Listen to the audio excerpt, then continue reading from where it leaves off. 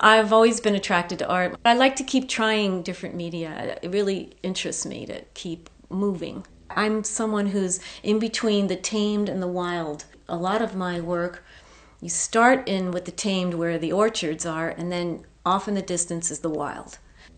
I'm really attracted to light and color. I try to make the colors move in and out of each other. I like to work from the feminine spirit. The feminine spirit moves in waves, so the energy of the colors are moving together.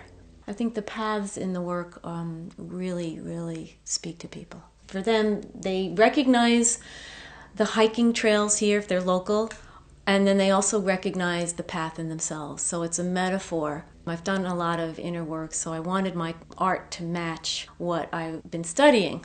My card deck is based on reflection.